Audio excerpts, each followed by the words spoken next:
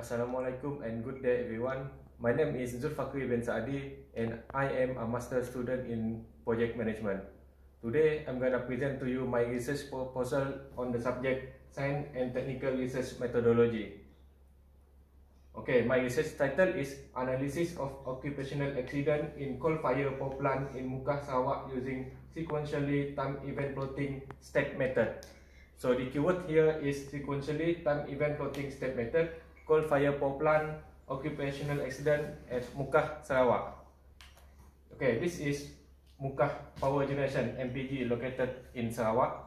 And MPG is a coal fire power plant. Its main activity is to supply electricity to Sarawak. Okay, introduction. Coal fire power plant usually use OSHA 1994 and FMA 1967. Step method also never been used in coal fire power plant. Currently, accident investigation in MPG focus on interview and site investigation. Okay, my research objective is to introduce and implement step method in accident investigation in coal fire power plant. Using step method in previous accident case in MPG to discover the root cause, critical event and safety recommendation. And then compare the step method with previous accident investigation in MPG. Okay, scope of research at MPG accident sample in MPG safety database and step method framework and methodology. Okay, this is my research design and methodology. Research method is step method. Sampling technique and method data collection, I use accident record from MPG database and interview. Okay, this is the sample of that safety database accident in MPG.